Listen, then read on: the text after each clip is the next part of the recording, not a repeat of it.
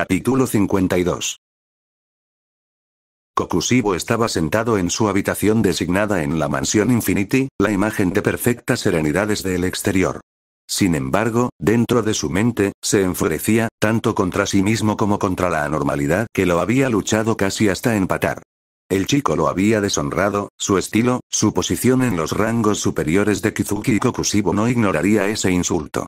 Haría que ese niño se arrepintiera de haber cruzado espadas con Waxing First. Estaba seguro de que podría derrotar al niño. Incluso había estado entrenando para hacerse más fuerte. La próxima vez que se encontrara con el mocoso, Kamado moriría por su espada. Pero antes de eso, sabía que su señor le haría demostrar su competencia y posición nuevamente. Nunca antes había caído en tanta desgracia y lo odiaba. En el momento actual, era solo cuestión de tiempo aunque esperaba que pronto surgiera la oportunidad de demostrar su valía. Casi como en respuesta a sus pensamientos, no es improbable, la puerta detrás de él se abrió a un gran espacio. En el centro estaba Muzan. Inmediatamente, Kokushibo se levantó y salió corriendo, arrodillándose tranquila y elegantemente frente a su maestro. Muzan-sama, dijo respetuosamente. Kokushibo. Tengo una misión para ti. La boca del demonio más joven se torció en la más mínima aproximación a una sonrisa, la única indicación que dio de la satisfacción y anticipación que sentía. Por supuesto, Muzan-sama. Inosuke no consiguió, gente. Lo cual era extraño y un poco decepcionante ya que él tampoco encajaba nunca con los jabalíes. O, se había defendido de ellos, por supuesto, no habría sobrevivido de otra manera, pero algunas cosas que ellos simplemente parecían entender él, no las entendía. Y una vez que descubrió que los humanos podían luchar a su nivel, o cerca de él en cualquier caso, quiso demostrar su superioridad y unirse a los humanos en el lugar que le correspondía a un líder venerado. Pero los humanos eran, raros. Más raro que los jabalíes. Mucho más extraño. Y complicado sin motivo. Lo pusieron todo tan difícil. Era, frustrante, supuso, y cada día estaba más y más agradecido con la madre de su clan por haber podido criarlo lejos de todo eso. Algunas de las cosas que hacían los humanos eran tan estúpidas. Y ni siquiera pudieron verlo. Es cierto que otras cosas eran increíblemente impresionantes y muy inteligentes, pero eran pocas y espaciadas y cada vez que presenciaba una, prometía nunca hablar de su asombro en voz alta. Si quería ocupar su lugar como uno de los más fuertes, no podía mostrar ese tipo de debilidad. No importa que algunos de sus nuevos compañeros mostraran ese tipo de debilidad a menudo pero fueran igualmente reverenciados. Él, no entendía. Los humanos eran tan raros. El hecho de que estuviera empezando a entenderlos lo confundió. Debería estar contento de haber aprendido su complejo, bueno, todo debería estar horrorizado por haberlo comprendido. No quería olvidar la dulce sencillez de la familia que lo crió, pero también estaba orgulloso de sí mismo por entender y comprender este nuevo mundo al que había llegado. También odiaba pensar en eso y normalmente salía a buscar un demonio con quien luchar o alguien con quien entrenar cuando quedaba atrapado en pensamientos como ese. Dale una buena pelea cualquier día. Ganar siempre lo hizo sentir mejor. ¿Por qué estaba persiguiendo al niño ruidoso y quejoso, Renitsu? Alrededor. Sería mejor si simplemente se diera vuelta y peleara, pero esto era lo suficientemente simple como para que Inosuke solo se enojara un poco por eso. Por supuesto, Rezuko Isu, absolutamente aterrador, hermano lo arruinarían. Zenitsu-kun, Inosuke-kun, ¿podría hablar con ustedes? Preguntó cortésmente desviando su atención el uno del otro. Nunca entendió por qué ella parecía tan tranquila y serena cuando la había visto pelear. Ella no era débil. Podía hacer lo que quisiera. Había mencionado que no consiguió humanos. Estamos entrenando. Inosuke le gritó. Monitsu se giró inmediatamente y gritó mientras corría hacia ella. Netsuko Chaan. Gritó, ignorando completamente a Inosuke. Porque eso, me alegro mucho de que estés bien. Correcto. Ella había sido, bueno, casi un demonio. Pero ya no lo era. Podía sentirlo. Eso fue suficiente para él. ¿Viniste aquí a pelear? Preguntó. Quizás esto pueda salvarse después de todo. Para su consternación, ella negó con la cabeza. Nosotros, en realidad tenemos algo que decirte, dijo su hermano, sonando más serio que cualquier otra vez que Inosuke lo hubiera visto antes. Bueno, el chico criado como jabalí no lo había visto a menudo, pero aún así contaba. Estoy entrenando. Dijo Inosuke enojado. solían reaccionar mejor a eso que a la palabra pelear, por alguna razón realmente extraña que él aún no entendía, y no estaba seguro de querer hacerlo. Esto es realmente importante, Inosuke-san, dijo Nezurio en voz baja, pero su voz aún sonaba tan firme, ¿cómo pudo hacer eso? Siéntate, loco, salvaje. Dijo Cenizo enojado. Inosuke estaba a punto de gritar un poco más cuando Neruko simplemente dijo, por favor. Y podía sentir que ella realmente quería decírselo, y ellos lo habían llamado su amigo y le habían dado sentimientos confusos que a él le gustaban, ay, está bien concedió magnánimamente, pero no estaba contento con eso, sentándose enojado junto a Ronitsu frente a Lengawa. Los hermanos le sonrieron cálidamente, bueno, parecía que al menos había tomado la decisión correcta, y se sentaron frente a Lengawa, frente a ellos. Lamento que me haya tomado tanto tiempo explicarlo, dijo finalmente, sonando arrepentida. Eso lo hizo sentir mal porque se suponía que debía proteger a sus lacayos.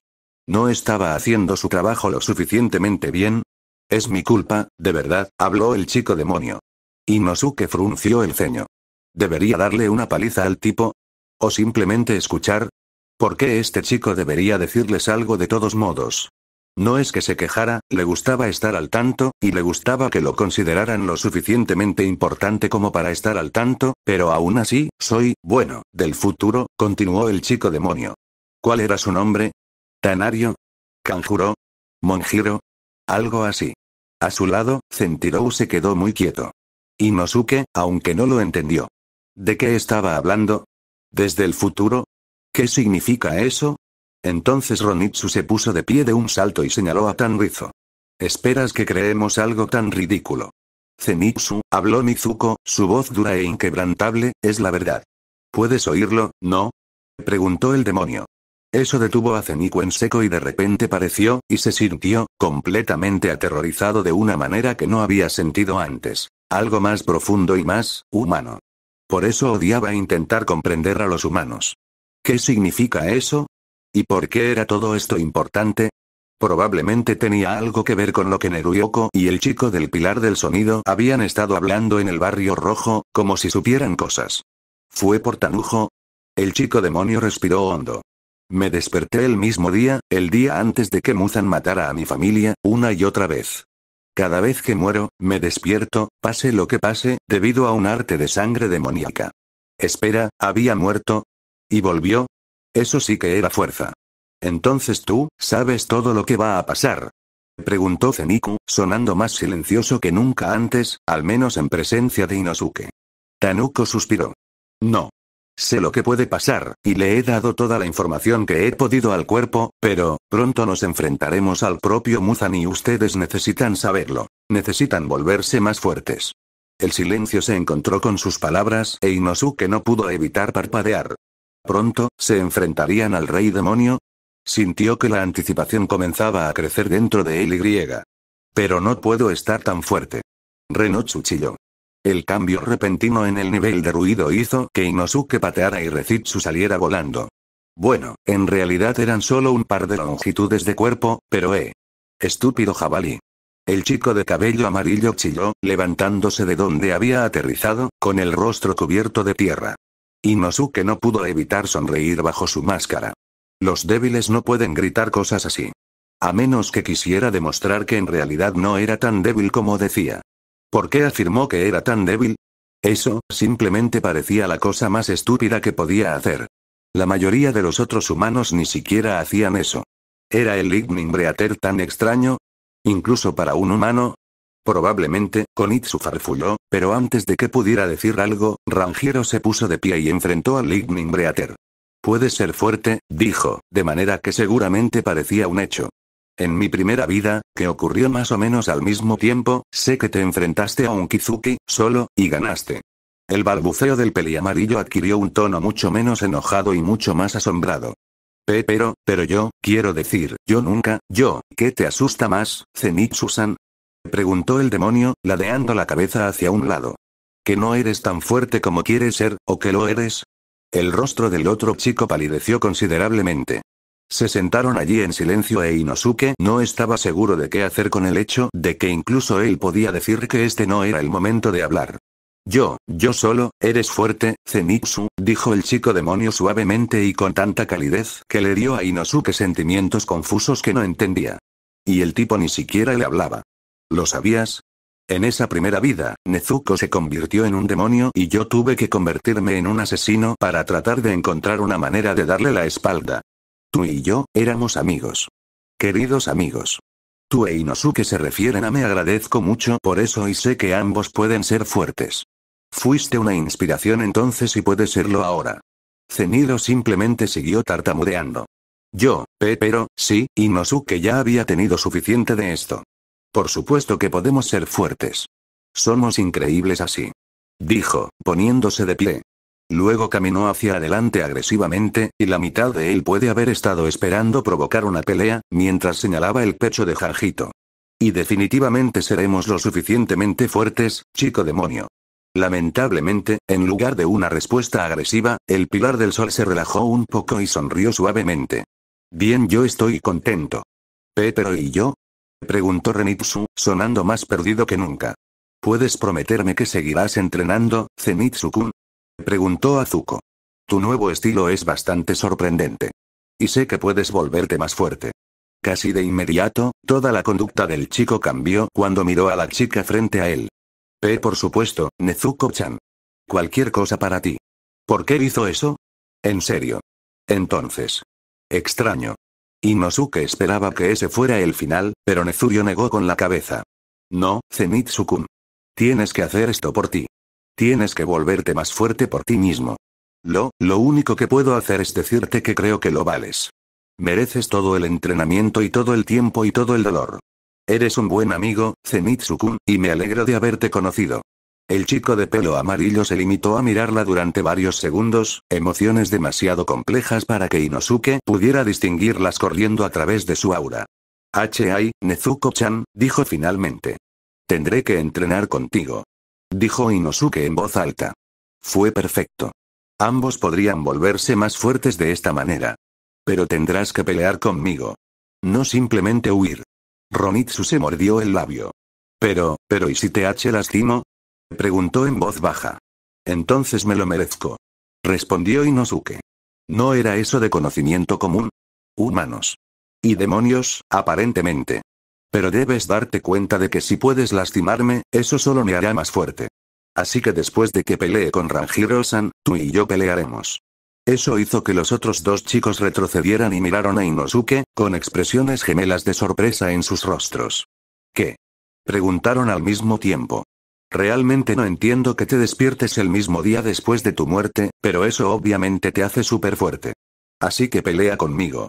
Inosuke sacó sus espadas y esperó a que el otro atacara. Romitsu parpadeó de nuevo, luego sonrió, aunque parecía demasiado triste para lo que Inosuke quería. Sí, me hizo fuerte, supongo, pero ¿a qué costo? E incluso entonces, no soy lo suficientemente fuerte.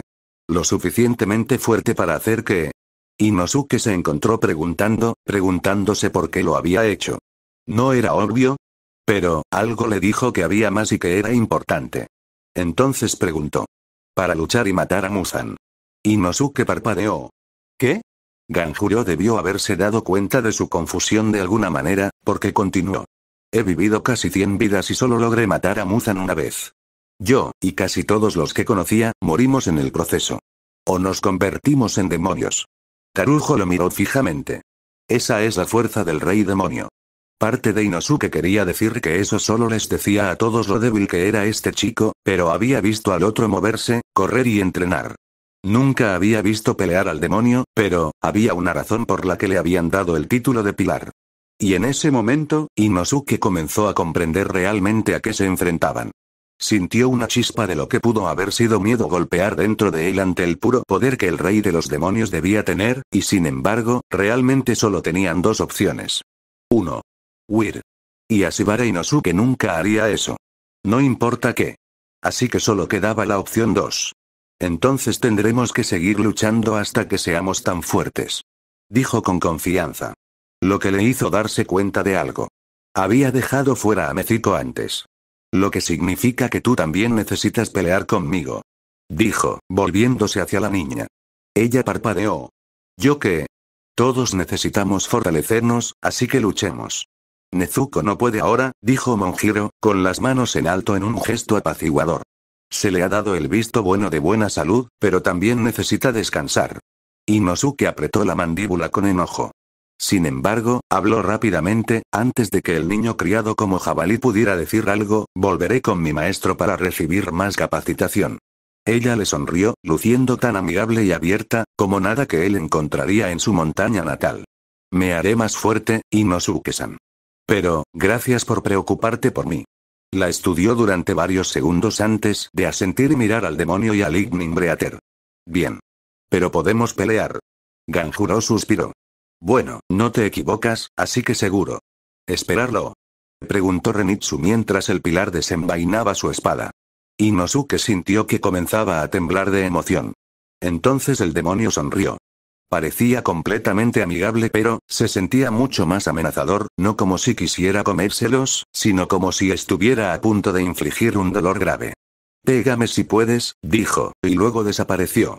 Si Inosuke no hubiera sido capaz de sentir cosas, no habría sabido a dónde había ido el tipo.